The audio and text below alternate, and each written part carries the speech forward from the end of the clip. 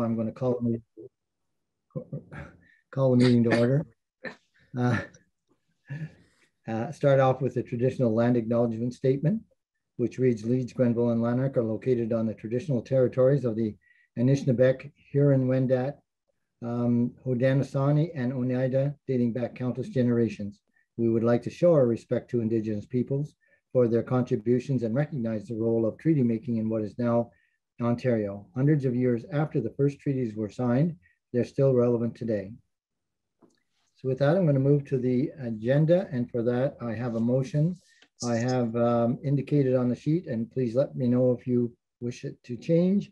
Moved by Ann Warren, seconded by Peter McKenna, that the agenda of the September 23rd, 2021 regular meeting be approved as circulated. Does anybody have any additions or comments at all with regard to the agenda? A move be accepted as presented, Mr. Chair. All right. Um, well, we have it moved, so oh. I'll just do what I've been doing, and that is, does anybody object to my declaring this motion uh, carried? It is so carried. That then goes to the conflict of interest. Having approved the agenda, does anybody have a uh, conflict of interest to declare, and could you provide the nature thereof? No. Seeing none. I have uh, next topic is the consent agenda. I have the motion and I have inserted the names moved by Doug Struthers, seconded by Bill Dobson. And it reads that the following items on the consent agenda be approved as circulated. They include 5.1 minutes of minutes from the Board of Health regular meeting held on July 22nd, 2021, 5.2 general correspondence, 5.3 MOH CEO duty of care report, 5.4 governance and quality assurance committee duty of care report, and 5.5 report uh, from the finance audit property and risk management committee. Before I open discussion, I'll ask, does anybody want any one item removed and dealt with separately?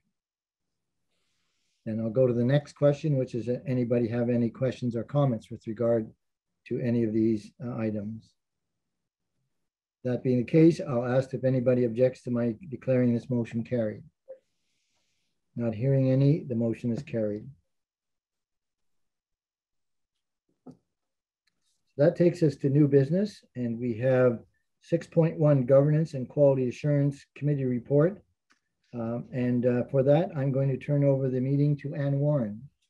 Ann, I hope you were expecting that, but I your name is That's okay. initials are uh, there. Uh, Thank okay. you. Uh, thank you, Chair. As you know, we are required to conduct a board self-evaluation survey at least once every two years. And um, as you can see uh, before you, you have this uh, self-evaluation survey, survey uh, in PDF format.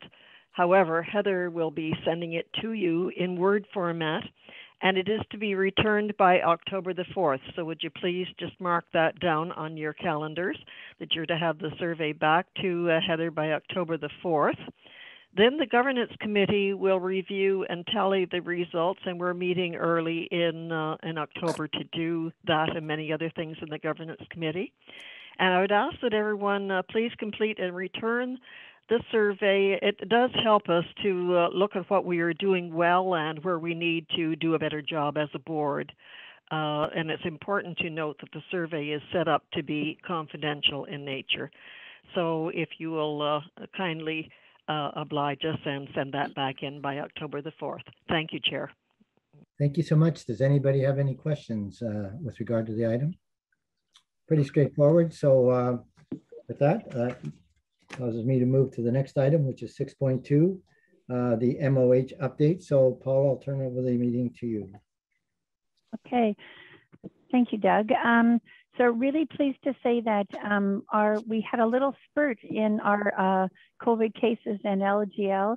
Um, um, and now it's settling down. So we have 16 active cases now. We were up into the 30s, and and those came about from really significant social gatherings where the virus had spread, um, and then spread into households, and then spread into a few workplaces. But that seems to have really settled down nicely now. So we have 16 active cases, and remember, the active cases are the ones that are in their 10-day infectious period. We're getting about one or two, or sometimes none a day, which is more like uh, we were sort of doing in in June. Um, so pleased with that. I think people are following the precautions and, and the vaccine's making a difference. Um, the majority of the new cases are in people who aren't uh, who haven't been fully vaccinated. We do have two hospitalizations and one person on a ventilator, and it just reminds us that while COVID can be um, can be a headache and not feeling well and then recover in five or six days. For some people, it really knocks them um, and it really affects the, the breathing because the, the virus starts to really actually affect the alveolar cells. So it's just every time I look at those numbers and I think of those people, I say, you know, COVID can be really serious. So we have to take it seriously. Um, the um, uh, what I'm reminding people in my media this week um, is that a critical part of uh, COVID transmission is that when people have symptoms, that they actually isolate and go for testing. And we just have to we have to keep remembering that. That's a critical part of preventing transmission um, in the community and workplaces and schools and so on. And the province has modified the, the symptoms that specifically are tied to COVID, and that if you have any of these symptoms, then you must isolate, must book an appointment at the assessment center and go for testing. And those symptoms are fever or chills, cough, shortness of breath, loss of taste and smell, and that's really um, quite significant for, for COVID. And then fatigue, muscle pains, joint ache, like really not feeling well. And for children, it's also vomiting or diarrhea. So really uh, keep on remembering that um, when, when people have symptoms, they need to isolate, be tested, and then we will follow up with them if they do have COVID in terms of looking at high risk contacts. That's a critical part of reducing transmission. Um, so school started, lots and lots of kids went back to school. And in general, I'd say um, it's been pretty smooth from a COVID perspective. We ha we've had a few cases where there was one individual, either an adult or, a child who went into the, who was in the classroom when they were infected. And all of those individuals are then sent home for a 10 day period from the last exposure and they go for testing. If between the staff and the students, they are fully immunized 14 days after being fully immunized, then they don't have to isolate, which is a huge advantage. We still recommend they go for testing uh, to be on the safe side. Um, and then our job is, is we send the letter home and say, if you're fully vaccinated, you can go to school. And then we check the COVAX database um, for the class people and identify the ones that truly are immunized and not. So, um, so far that's working um, very well. It's only in two schools, and you saw that on the outbreak where we had a, just a tiny bit of transmission. Um, so that I think things things have, have been going really, really well. Um, our vaccine rates continue to grow. Um, we had 1,400 first doses last week. So we still are getting a lot of new people coming um, to get their first dose as well as their second doses. So we're now um, as of Monday, 94.1% have their first dose of the 12 plus and 87.7% have the second dose. We're just, we're inching steadily up to that 90%. That's, that's sort of my, that, that I'll be happy when we get there and then I'll be happy when we get beyond it. So it's sort of, it's a goal that we sort of set collectively for, um, for the community.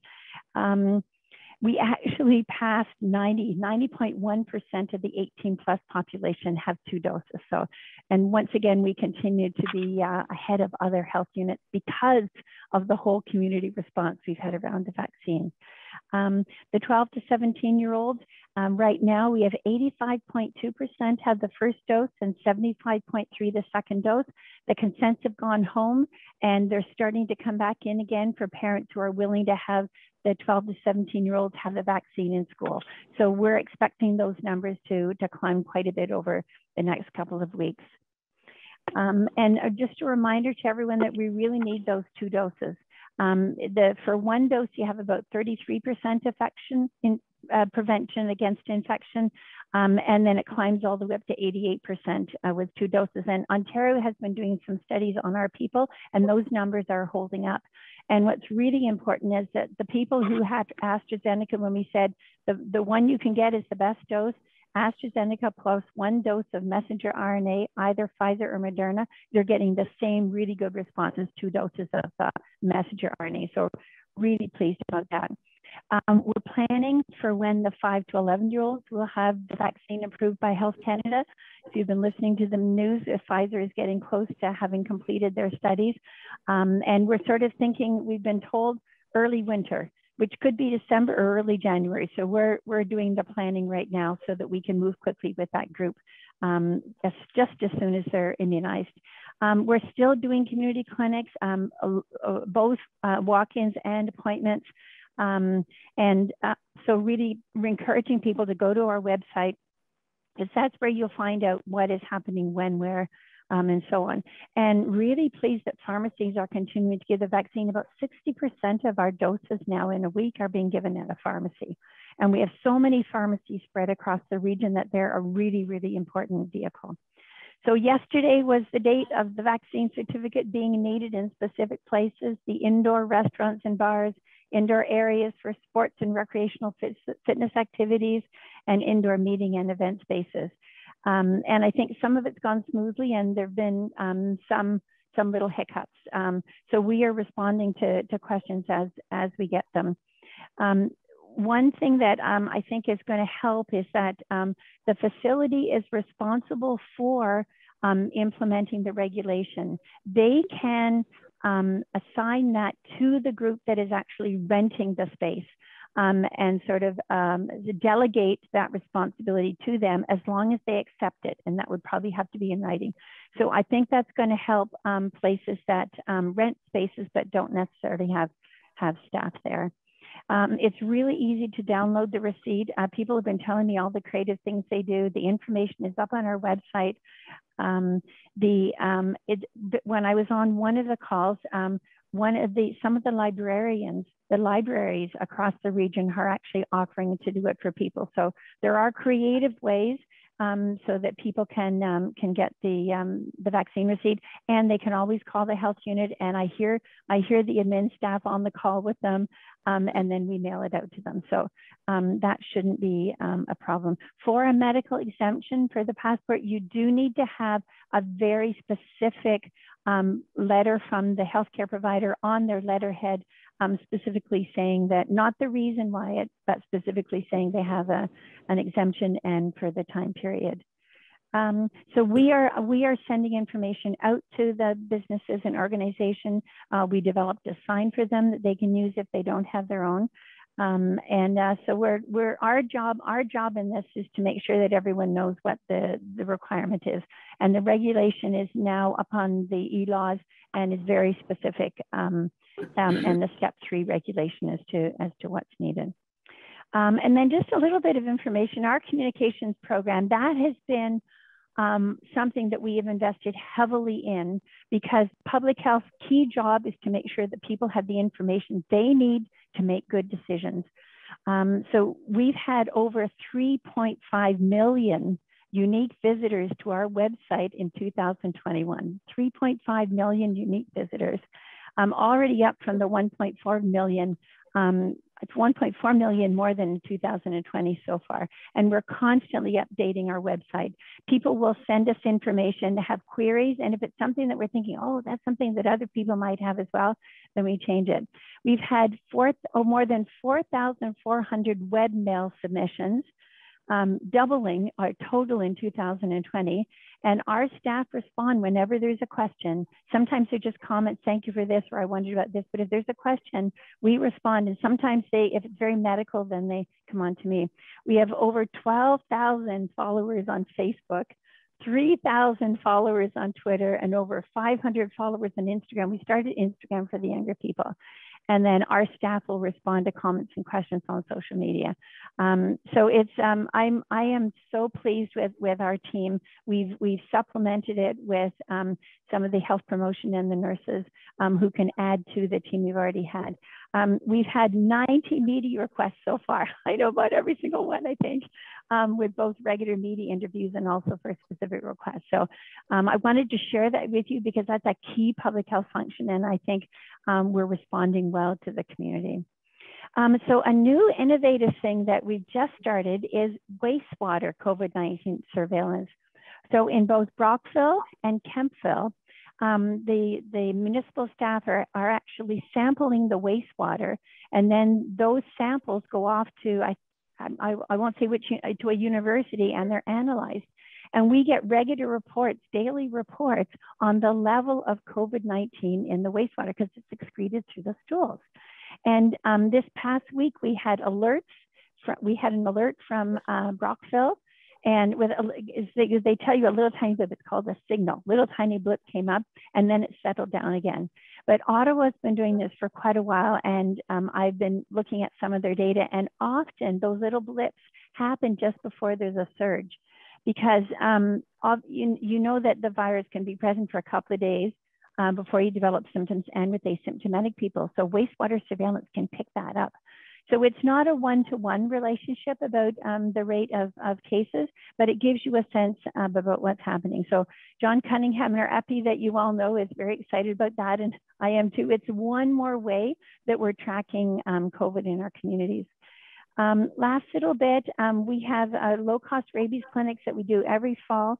We had one on September 22nd and another one on the 29th. And thank you to the vets who come out and support those um, because some people couldn't afford to go to the vet and get the full sort of assessment that was done, but they can come and get um, the rabies vaccine um, where our inspection staff are now out doing more of the regular inspection works at high risk premises and so on um, that we had to put aside a little bit, but we're getting back into that um, critical work. And this is Environmental Public Health Week, uh, which really celebrates the core work that public health inspectors do to keep our communities happy.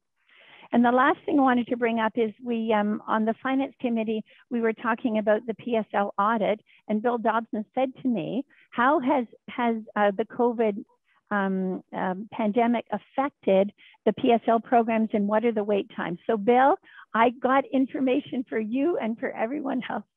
So um, wait times for the program did go up in March, April, and May as we were just getting used to it and what we needed to do. Um, and then we, um, we um, refocused, um, the, the program went into um, more virtual kind of setup, just bringing in key people and things were down. But gradually the wait times have started to go up, partly because of increased referrals.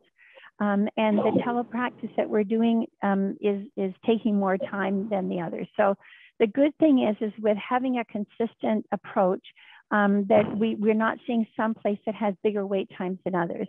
Um, but the program overall is looking at how we can improve service um, um by starting to do more in person and starting to use the, um, the virtual a little bit differently. So, um, so know that, that we are paying attention to that bill and we'll keep on looking at it because that's a really critical service.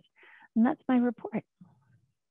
All right, thank you very much. A very detailed one. Uh, uh, does anyone have any questions um, for Dr. Stewart? Go ahead, Bill. Yeah, just a couple of questions. Thanks, Doug, and thank you, uh, Paula, for this report. Um, we talked in our meeting the other night, a municipal meeting, about uh, if we delegate uh, the uh, organizers of, a, of an event to look after the uh, passport and it was pointed out that it might be a little bit of a problem, say, in a case like where there's a wedding, and you might, like, the people have to maybe contact everyone who's expected to come to make sure mm-hmm. that they bring their passport. But uh, with wedding, especially with wedding receptions, you always get people coming that maybe weren't expecting to come. So, mm we that was pointed out that it could be a problem.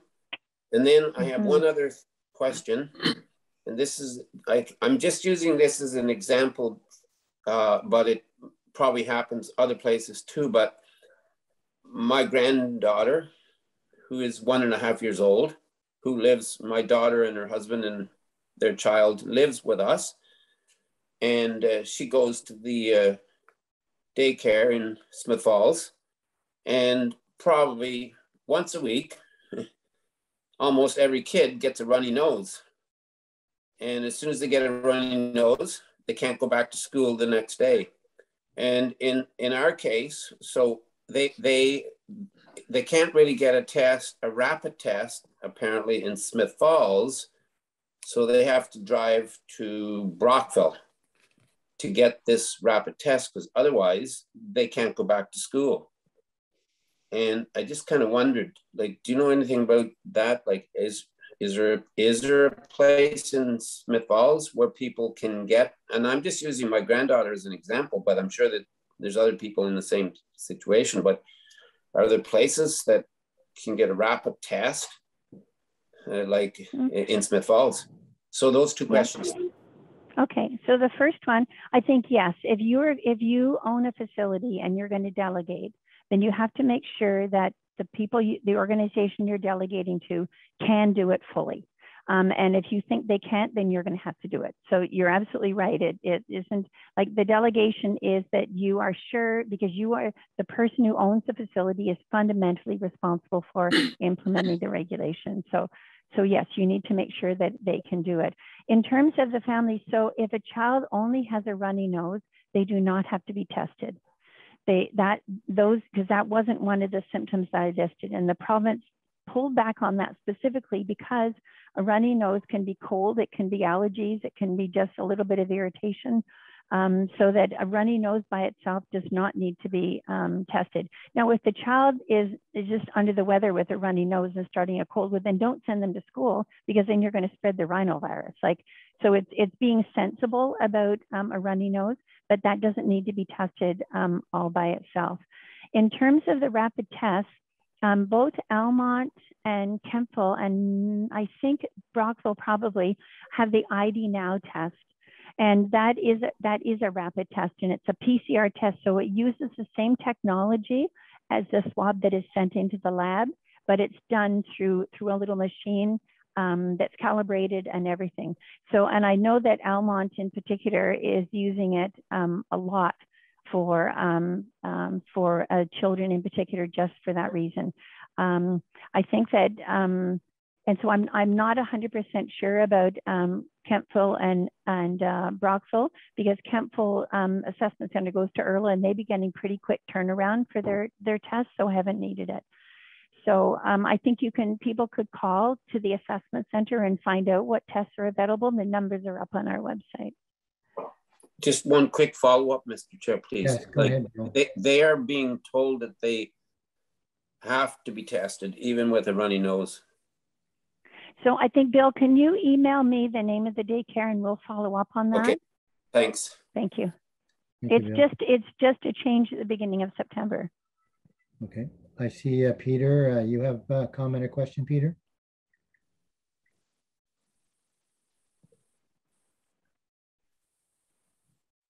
Yes, thank you, Mr. Chair. It's a, I guess a comment, observation.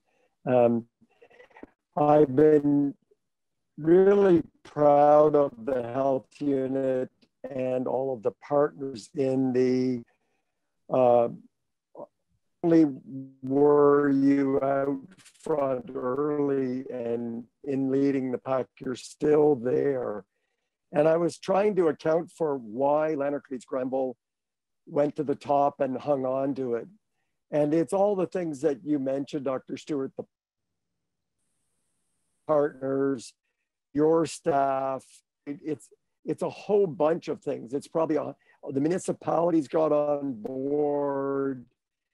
Um, but then I, I kept saying, well, a lot of the other uh, health units had the same, and I kept trying to wonder why we got up so high and stayed up there. And so I've come down to having an opinion on it. And I think it has to do with your weekly radio calls, Dr. Stewart. Mm. I bet you you're hitting 90% of the of the population. And what I and I've listened to so many of them, I think what you've been in particular is a clear, friendly voice, a trusted voice throughout the pandemic and when things changed, you explained why they changed. And people really, really trusted you. And I think mm. this is Peter McKenna's opinion. Uh, put us over the top and kept this right at the top. So it's a whole bunch of things, but I think the reason we're over 90 is because of you and your weekly. It's like listening, I don't mean this, it's like listening to your grandmother every week She's smart, she's friendly, she explains things. And I just want to go out and get vaccinated after I hear you. So that I just mm-hmm. wanted to get that in there. Well, thank, thank you, Peter. It's um, I I I love those. I, I do the one in Brockville and the one Lake 88, and I And I have a, there's a part where people ask me questions and they're all, they're always really good questions. They're complicated and, and I just love that connection with people. So thank you. And Peter, Pleased to be part of it. and Peter, it's the Peter opinion, but I think uh, there's a lot of uh, board members that share that. I saw a few thumbs going up from the reaction uh, emojis. Uh, And it certainly reflects my view also. So thank you for that. Does anybody Thank else you. have any uh, questions for Dr. Stewart on the update? Uh, The only thing I would mention uh, is that I keep hearing that um, you can delegate the authority for checking um, that the vaccine records are there and the driver's license. But I'll always remember uh, or remind organizations that you can delegate, but it doesn't remove your requirement to Yeah. confirm that it's actually being done. So Yeah. you're absolutely right. You have to be confident they can do it. But however you choose, there has to be a way that you're verifying that it's actually being done. Yeah. Yeah. Very good point, Doug. Very good point. All right, uh, with that then, uh, we're going to move on to item seven, which is the camera part. And uh, for that, I have a motion to go into camera, uh, which I'll now read and get uh, approved. Um, So it is moved by Cheryl Smith, seconded by Doug Struthers, that this board move into a closed session of the Board of Health due to the following, which is labor relations or employee negotiations. Is there any comments or discussion before I call the question? Seeing none, does anybody object to my declaring this motion carried? So this motion is carried. We are in closed session, so I'll wait until um, our our uh, systems people have cleared um, everyone else.